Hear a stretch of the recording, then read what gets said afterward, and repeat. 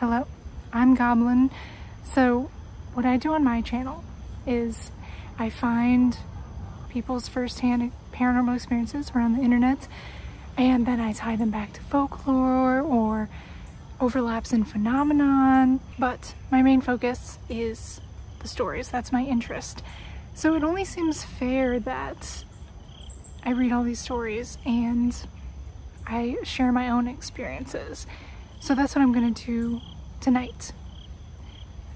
I say tonight even though it's clearly daylight right now. But nighttime's a state of mind. It's always nighttime on my channel. I'm standing in this creek because that's going to be one of the factors that play into my experiences that I'm going to share that were all childhood experiences I had. This isn't the creek that was that's in my story, but nevertheless, it also has this creepy little tunnel that isn't exactly like the tunnel that's in my story too, but these elements do have a part in my stories that I'm going to share tonight. So these are by no means going to be all of my paranormal experiences. Um, I've had quite a few, but these are all going to be ones I had in my childhood home. So between the ages of, I don't know, six or seven to um, 10 or so. Yeah, so just wanted to uh, pop on for the little intro, but for the rest of the video, you can just listen. So, I am going to share my experiences regarding what I believe to be a haunted house.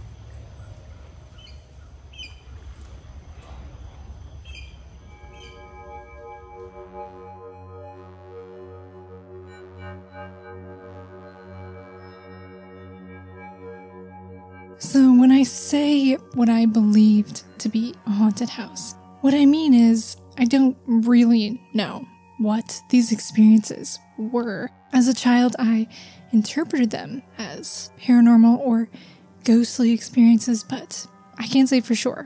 I'm not sure if they were things that had perfectly normal explanations or if maybe it was some kind of paranormal phenomenon but not a ghost. I don't know. But the fact remains that these memories have lasted in my mind throughout all this time. I have also, over the years, as time passes, doubted these experiences. There has been times where I really just thought maybe I imagined it, I misremembered it, it didn't really happen. But like I said, I do still remember very specific instances very clearly. And for a couple of these experiences, there were other people with me. So I'm going to be talking about the house I grew up in, spent my childhood in, up until the age of about probably when I started high school, around that time. And this was in the suburbs. This was a single story, fairly small home with a basement. And the the house was on this drive that was kind of like an oversized cul-de-sac. It would come off of this main suburban road, which was a fairly quiet road, a little bit of traffic. And my street would come off it onto a hill, and the street was basically a circle. I had a creek that hugged the bottom. This creek went under the main road. I loved this creek. I spent so much time in that creek. I'll talk more about that later. I had a really nice backyard that was really big and had an above ground pool with wood paneling. And behind my house, there was a little woods. Not huge, this was the suburbs, but there was still enough of it where we would get foxes and turkey and deer.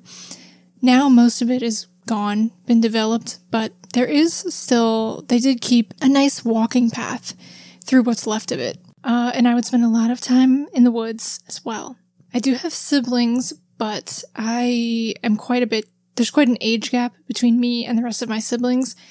So by the time I was 10, all of them were gone to college. They all moved for college.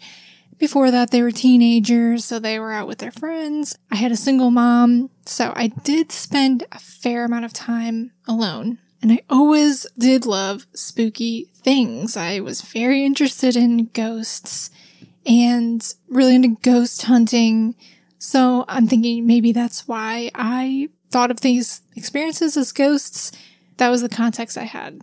So the things that would happen in this house was kind of just your general run of the mill haunted house kind of stuff. Noises, footsteps, really just sounding like someone is in the house that isn't there, just kind of going about their business, but there isn't anyone there for the most part. I remember footsteps in the hallway outside of my room when I was not asleep, but at night when I should be asleep and everyone else should be asleep. Well, just my mom. But, um, here's someone just pacing through the hall back and forth in front of my door. And this wasn't a very long hall. It was kind of a little L-shaped hall. Just kind of pacing the hall and these really measured, quiet steps. Sounded like someone in shoes, but quiet but not like someone is trying to be quiet, you know, like it was my mom who was maybe trying to be quiet not to wake me up. I'm not sure. But my door was closed, so I couldn't see if there actually was anyone in the hall or not. But it was creeped me out. I always thought it was kind of weird. Maybe that sound was something else. I don't know. But I always thought it was kind of weird. So we had a computer room. That was one of the rooms. Upstairs there was my bedroom, my mom's bedroom, and the computer room, as well as the living room, dining room, and kitchen. The computer room had a door and really just a desk, one of those old white clunky monitors, computer monitors with a floppy disk and everything. I spent a lot of time on the computer and I liked playing computer games too. I still go back to some of those old computer games that I would play as a kid. Heroes Chronicles is one of them if anyone has any nostalgia for that series. Anyway, I loved spending time on the computer as I still do. So, of course, when I get home from school, my mom's a single mom, she's at work, so I walk home from school, let myself in, and just hang out until she gets home from work. And I'd usually go straight to the computer room if I didn't want to be outside or if I wasn't hanging out with a friend. So I remember one day I'm home alone. It is daytime. I'm on the computer. I'm just doing my thing and I hear from across the house, if I'm on the front side of the house, and you go to the computer room, you turn left, you turn right, there's the kitchen. On the back wall of the house, in the kitchen, are the stairs to the basement. So I hear someone coming up the basement stairs, but these are the loudest footsteps. Like someone is in boots and just stomping as hard as they can up the basement stairs. Like it's almost shaking the house, I feel like. No one is home. It's just me. But I don't know what to think in that moment except for someone's coming up the stairs. Uh, my dog, who's with me in the room, Patches, rest in peace, Patches, he also hears it and he gets up and he's looking out the door in that direction, ears up on high alert. Like, this is strange. He didn't expect anyone to be home either. But he doesn't leave the room. He stays in the room with me and he's just kind of looking out that way. So these big stomping steps are coming up the stairs. But when they get to the top of the stairs, they stop.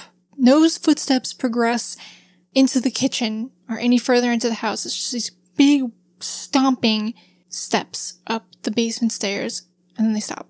And that was very strange. I didn't know what to think. This wasn't some other sound at, that I certainly would have been familiar with in my house. We didn't have some crazy air conditioning or heats that would kick on like this. Uh, and you know what the sound of someone coming up your basement stairs sounds like. So that was kind of that. I definitely did not go and investigate and see if anyone was in the house. I didn't hear anything else. I think I probably just stayed in the computer room until my mom got home. And I didn't tell her about it. I don't think. I don't remember telling her about it eventually my dog laid back down and that was that, but that was very strange and uh, scary. Thinking that someone's in the house all of a sudden and it's these big, imposing steps. Very strange. Another memory I have from being in the computer room, but I believe this was probably at nighttime when I was supposed to be asleep, but I would creep out of my room, which was right next to the computer room, and pop in there and close the door and turn on the computer with all the lights off, thinking that I was sneaky. Like, if my mom got up, she wouldn't see the light from the computer under the door or probably hear the clacking from those old keyboards, right? Uh, but I never got caught. Or if she saw me in there, she didn't ever say anything. So I'm in the computer room in the middle of the night when my mom's asleep. The door is closed, but I hear someone in the kitchen putting dishes away. The sound of plates being put away into the cabinet and cabinet doors closing and humming. A woman humming as they're doing this. Just a very domestic sound. And you would think it would just be my mom, but it, it's not my mom because she's asleep. She wasn't one to have insomnia or do things in the middle of the night. And all the lights are off in the house. So I'm not sure what that was. And again, I don't think I investigated. No, I didn't check to see if someone actually wasn't in the kitchen. But if my mom had gotten up to go do dishes, um, she probably would have told me to get off the computer and go to bed. Now, these things did happen a long time ago when I was a child, and I do remember them. I do remember the footsteps coming up the stairs. I remember hearing someone putting away dishes and humming in the kitchen. But I don't remember all the details to these moments. I don't remember my exact reaction. I don't remember the exact circumstances. I, I just do really clearly remember those things happening. Another one I remember quite clearly with a little bit more detail is being in the basement one day and our basement was partially finished. There were two rooms. It was a large basement. I mean, the basement was the entire size of the house. I guess that's pretty standard. I don't know. But there was, of course, the laundry room. There were two bedrooms built into the basement for my brother, one for my brother and one for my sister. So those were finished, but it wasn't super, super finished. It was pretty bare bones. And there was also this bathroom, God, that looked like, I swear, in my memory at least, looked like the Saw bathroom. It was a tiny bathroom with one of those showers that is like a standing stall shower with the glass sliding door. It was fogged glass, kind of grimy looking, so you just didn't, you didn't, I never, I never used that shower the sink was kind of, I don't know. I asked my sister about this too, who lived in the basement. She's like, yeah, the bathroom was terrible. I guess it just wasn't finished. It wasn't really loved on that much, but had really poor light coming in because it was in the basement. Really just creepy bathroom. That has nothing to do with anything. Um, so I remember being in the basement one day, and this was at a time when my siblings had gone away for college, but I wanted to hang out in my sister's room and just go through her things on this particular day, I was going through this little box, it was maybe like a tin or some kind of like cigar box of foreign currency she had. Different coins like pesos or different European coins from her travels abroad. So I was just doing that. I could hear on the other side of the wall my mom doing laundry, putting laundry in the washer, closing the doors to the washer and dryer, humming as she's doing so. And I call out to her to ask her for something. And then I hear these footsteps above me on the first floor going through the house up to the basement stairs. And then my mom calls out from the top of the stairs, What? What do you need? She answers me, and she's upstairs. And then I don't hear anyone humming or doing laundry anymore. And I realize that she wasn't in there doing laundry, but I heard a woman humming and going about these domestic activities.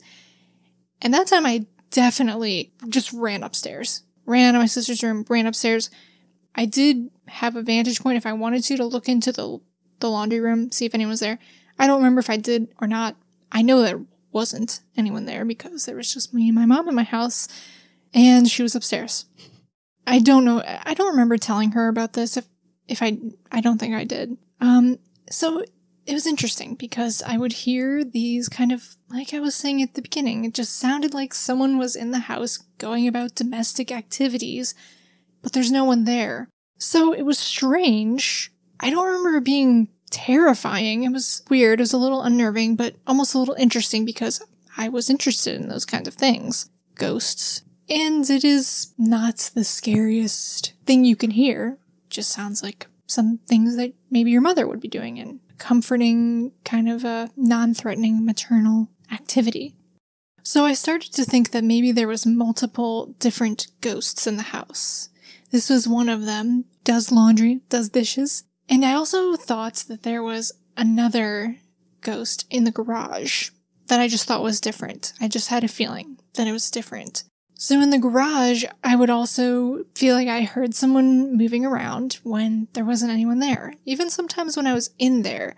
Nothing overt, just little clinking, or you just felt like you heard a little noise in the room, but no one was in there. One day, I got the idea, I don't know why, but I was outside of the garage and the garage door was closed, and for some reason I maybe maybe at first I had put my ear up to the door of the garage to hear if I could move hear anyone moving around. I decided that there was a man in the garage. I hadn't seen anyone or heard anyone. This is just what I decided. I do remember sometimes the back door of the garage that went into the backyard. It was a door, a regular door with four windows. I feel like sometimes I would just catch a glimpse out of the corner of my eye. It seemed like there was someone at the door or something. But I didn't really have a reason for deciding that there was a man in the garage that wasn't the woman in the house. felt like a different energy, I guess. So I put my ear up to the garage door and I felt like I could hear someone in there moving around. And I decided to do the shave and a haircut knock, you know, dut, dut, dut, dut, dut. And I put my ear back up and I got a response. It seemed like I got the dut, dut, the two knocks back that you're supposed to get to that knock, right? Shave and haircut, two bits. I really thought I got that. So I was like, well, let me try that again. And so I did it again. Knocked, put my ear up to the garage door, and I felt like I got a response. And I felt like this was happening consistently in response. to knocks. Like I said at the beginning, I don't know if there's some sort of explanation to what I was actually hearing, but I thought it was very interesting at the time. And a little later that day, I had a friend come over, but I ended up telling her about what I was doing or what I had done, and she wanted to try. And she did, and she said she heard it too, and she got really excited. She's like, oh my gosh, this is so weird.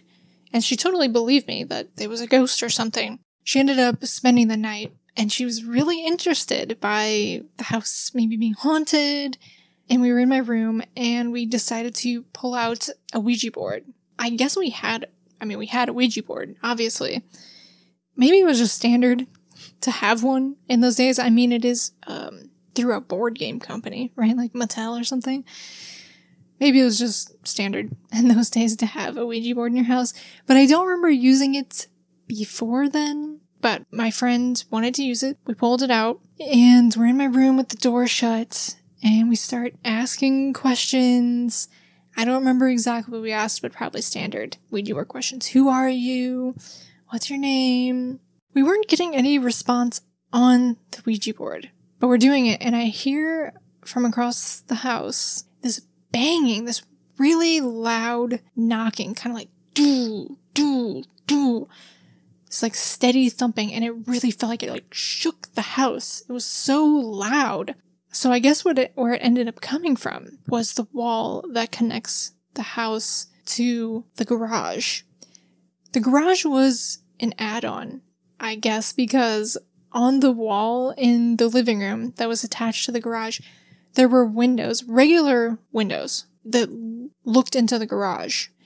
And we had blinds on them, or I think blinds, something covering them. Maybe they were covered on the garage side, but you couldn't just see into the garage. But I always thought it was really creepy that we had these windows that just looked into the garage. Anyway, so there was this knocking was coming from this really, really loud knocking was on that wall. So loud. It felt like it was shook the house. And my mom was sitting on the couch that kind of teed off that wall watching TV. And she actually said, she said, I don't know what you're doing, but you better stop it because you're, whatever you're doing, you're making it mad. And I guess she was talking about whatever was in the garage. She knew we were messing with the Ouija board. I had told her at some point that I thought the house was haunted because I do remember her not believing me. My sister thought it was haunted too. I I don't remember I don't know exactly what my sister experienced. I still need to catch up with her and figure out what her specific experiences were because I don't remember having any together with my sister, but we do agree. She's told me that she thinks that house was haunted too, and she's had experiences. And we would both tell my mom that, and she's like, no, no, I don't really believe in that kind of thing. I don't think so. But at one point, my mom did tell me that she heard someone talking in the basement. I haven't asked her about that in adulthood. Anyway, I guess she knew that I thought there was a ghost or something in the garage. So she heard she heard this banging. Right next to her, and she told us to stop stop messing with whatever we were doing because we were upsetting whatever was in the garage. I thought that was interesting that she said that because she really wasn't into it like I was. And she was dead serious. She was dead serious. And it was not my mom. I don't believe that it was my mom who knocked on the wall like that. She's not a jokester. She's really not a prankster. Honestly, she really doesn't have that great of a sense of humor.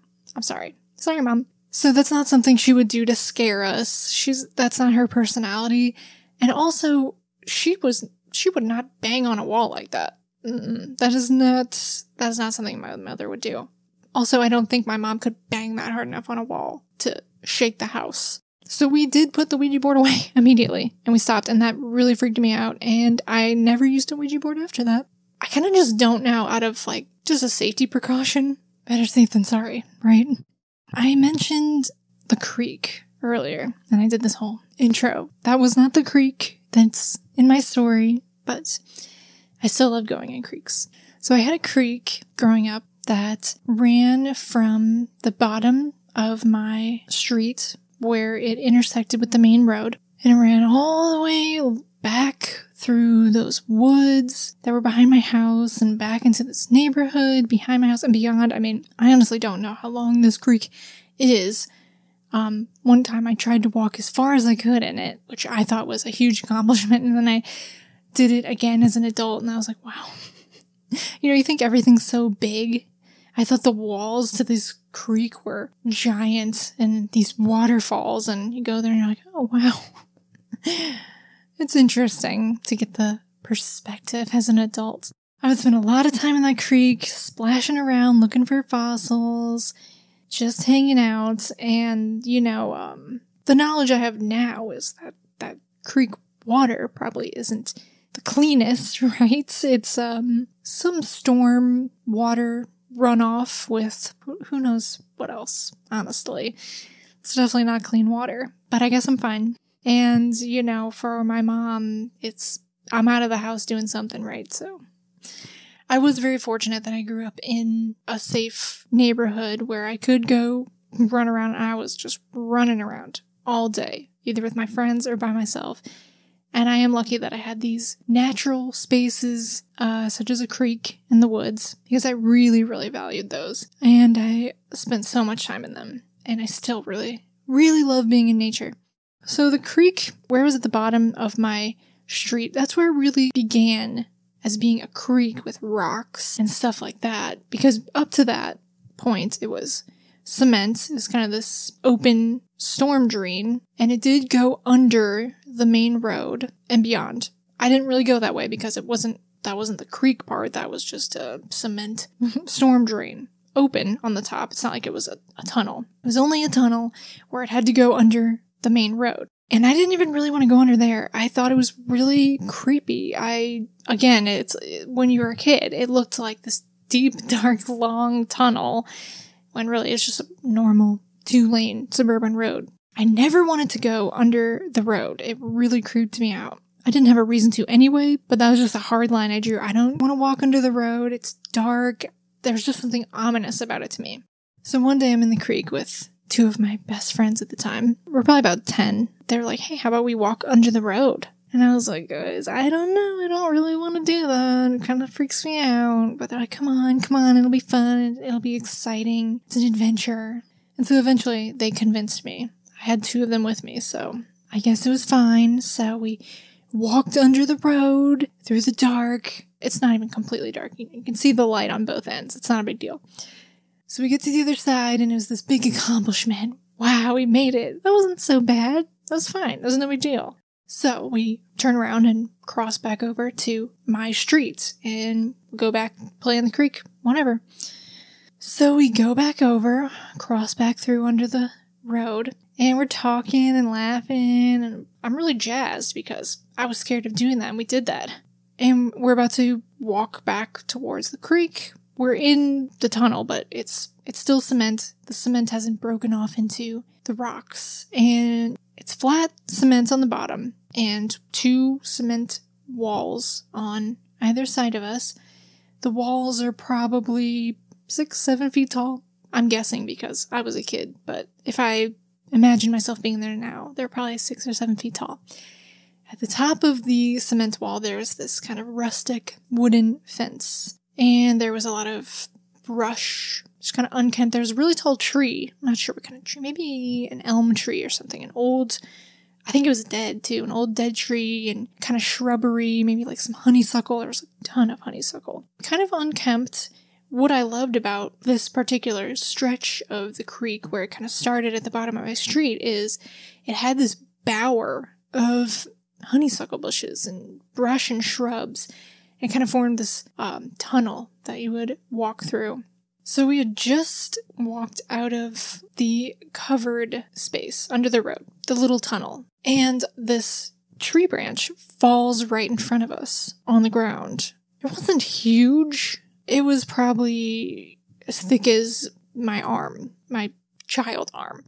But it was long, and I don't know if it would have really hurt any of us, but it definitely startled us. It fell. So you look up to see where that came from, where this tree limb fell from. And standing right at the top of the cement wall above us, to our right, in front of this old elm tree, with his hands on the wooden fence that is at the top of the wall is a man, and he's an older man. Has white hair and a white mustache, and he's wearing like utility workers kind of coveralls. And it, I think it's blue, it's dark colored, but I do remember there being kind of like a stitched name tag with a name, probably a name, but I don't remember the name. But I remember that little detail, the stitched name tag, and he's wearing a, a baseball cap, and he's looking down at us. And he kind of has this look on his face like he's not mad, uh, maybe a little bit, not furious, but very intimidating, almost like a scolding, stern kind of look on his face. And it would have just been a normal man, maybe a tree worker or something, except that he wasn't quite solid. He was just a little bit transparent. And his eyes, because I looked right into his eyes, they were completely white. There was no color to them. I get, I'm getting chills as I talk about it. So, so weird. So this tree branch falls. We look up and there's this man standing there, right there. He's right there looking down at us. I feel like we're in trouble and he has all white eyes. I mean, it was so creepy.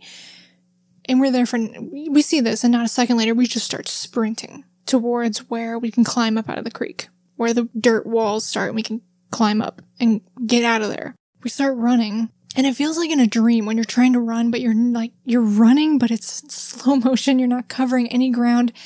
And just like in a movie, one of my friends who's with me keeps tripping and falling. And we're like, come on, come on, come on. We're trying to help him up and just urging him to come on. So I'm just focusing on us getting out of the creek. We climb up out of the creek. We start running up the street back towards my house. We do go the way towards where the man would be standing because the man was standing really close to where my road starts, where it comes up off of the main road, really close to that. So I'm looking to see if he's there because I, as weird as he looks, I'm like, oh my gosh, we're in trouble or something. This man was mad. I'm looking for him. I don't see him. I also want to look for a truck because it seems like he was a utility worker. So there should be some sort of truck, but I don't see any truck. I don't see anyone. Doesn't seem like anyone's there, but we just keep hauling ass back to my house. We don't stop running. We don't say anything until we get to my house and we get in my room and we're all exasperated and sitting there together. And I ask my two friends, what did you guys just see? what did you guys see in the creek? And they told me the same thing. I made sure I didn't say what I saw first, and they told me that they saw the same thing, that they saw a man. I can't remember exactly how many details we shared that aligned, but I remember them saying that they saw it too. Eventually, I grew apart from these two friends and we lost touch, but I did send a message to one of the friends who was there and asked them if they remembered it, and they said they did. I had to just check, you know, like I was saying, with time passing, I was really starting to doubt that it happened. It, seems like a pretty weird thing to happen. So I asked one of my friends who was there and he said, yeah, I remember that. He validated it. That was absolutely terrifying. So strange. Probably the strangest experience I've ever had. I've never seen another apparition or whatever you want to call that again. But there was full detail to this guy. Totally looked just like a normal person except for being semi transparent and having all white eyes. I mean, that is every time I mention or think of that detail, it really gives me chills. Ugh. So spooky. I don't know what the deal is with that. I, am not trying to make up any kind of backstory or reasoning. It just happened and I can't explain it. And it was so strange and so spooky. One more story I will tell you regarding that creek. The paranormal experience wasn't really mine, but it's still very creepy. And even my part of the story is a little, it was a little creepy to me. So this would have been when I was in middle school. So I was probably 13 or so. I was walking home from school, making my way home, and um, my cell phone rings. I had a cell phone at that point, but um, there weren't smartphones yet, so this is just your kind of basic phone. Now, I'm not a big phone talker now. I actually kind of hate it, but as a teenager, I loved it. I think most teenagers do.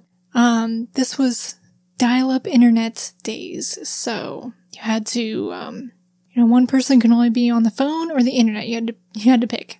And also, my mom really liked talking on the phone. So she went ahead and got me my own phone line for my room. So I could talk on the phone as much as I want, and so could she, and we could be on the computer and different times. And not only did I have my own phone line, I also had one of those see through plastic phones that when it rings, it lights up and you can see all the wires inside of it to die for. I mean, I was really just living the dream. So when I'm walking home from school this day, my cell phone rings. But what was weird is the phone number was from the phone in my room. My personal phone in my room in my house was calling me. And that was very strange because, as I said, uh, my mom would be at work when I was walking home from school. That's why I walked home from school. So no one was home. And also, even if it was my mom, she would just use the house phone to call me. So that in itself was really odd. So I picked it up, I answered the phone call, I said hello, and no one said anything back. The line was silent for a moment, and I said hello again. I was starting to get really kind of creeped out at this point. And then a voice answers me, but a very soft voice, and it's my friend. I'll call her, uh, Pam. It's my friend Pam. She's calling me from my house phone and she sounds upset. Not like she's crying. She, she, she sounds very serious. The way she got into my house was we kept a key, a spare key to the house in the mailbox. Really doesn't seem like a good idea, but I guess that tells you how safe of a neighborhood it was, right? Because it was never an issue. Anyone could have let themselves into our house. So that's what she did. And I think she asked me if I was going to be home soon, if I was coming home, if I was going to be home soon or something. And I said, yeah, I'm on, I'm on my way. And she said, okay. And, uh, hung up. So I could tell something was wrong, but she didn't say what. And it actually started raining, or it was raining or something. Anyway, someone was driving by, someone that I knew, someone's mom was driving by and ended up giving me a ride home the rest of the way, which was nice because I was still kind of far away. So I got to get home out of the rain soon, and I was also really curious as to what had happened to Pam. So I get home, and my friend is there, and she looks very somber and serious. And I asked her what happened. And she had been in the creek, the creek where I saw this man. Not too far from the same place. It was right where the creek actually started, where that cement ended and the rocks begin. she was there by herself. I don't know, she was walking home as well or was in the area and decided to go mess around in the creek. I'm not really sure why, but that's what she decided to do.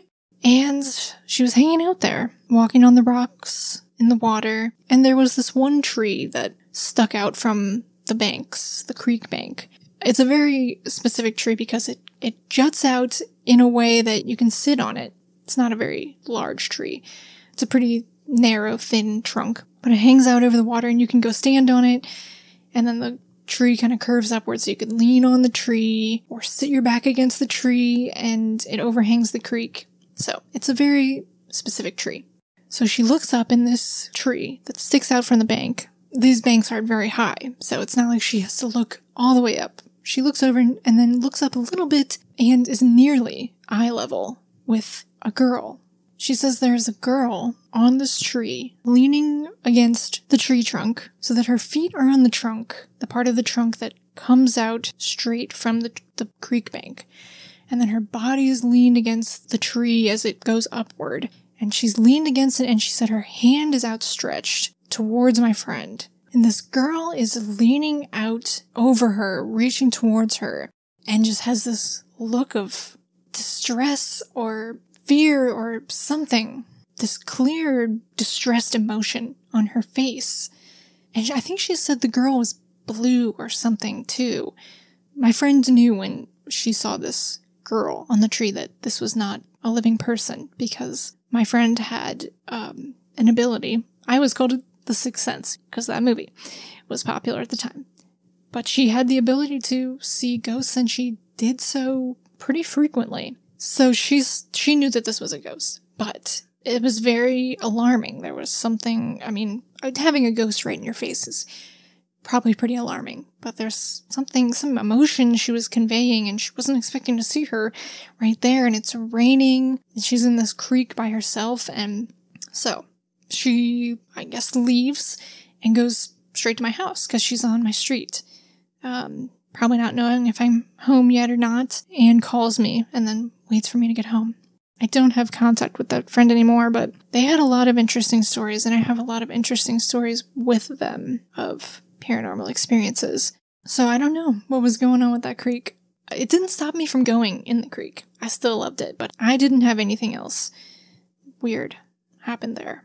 And I don't have any more memories in that house that really stand out. And then we moved out of that house when I, about when I started high school. I was perceived to be a haunted house. A lot of other people in my life at that time thought the same thing. Family members, friends. What was really going on? I don't know. But those are the things I still remember really clearly. If there is a normal explanation to them, I didn't figure it out at the time. So, those are not by any means all of my paranormal experiences. They seem to occur in chunks of time. When I look back on them, I just kind of group them into these chronological chunks. They kind of come in waves. I always appreciate people sharing their stories because it is a very vulnerable act, even though I'm in this corner of the, uh, the internet and podcasts and all that where I'm used to hearing paranormal stories and it's something I'm open to. Even still, it's, it is vulnerable putting your story out there because many people will just very easily dismiss you so you are putting yourself out there when you tell these kind of stories. I appreciate anyone who does that. Figured it's about time for me to do so myself. So, those are some of my stories. I'll be back eventually with more of my stories, but a lot sooner with reading other people's stories. If you have any personal experiences, please, if you're comfortable, feel free sharing them in comments or you can email me that's um that's what makes life interesting to me is these unexplainable things. Everybody has at least one strange story. That's what we're here to collect and to share and to appreciate. So, thank you for taking the time to listen to some of my stories. I'll see you soon. Until next time, good night.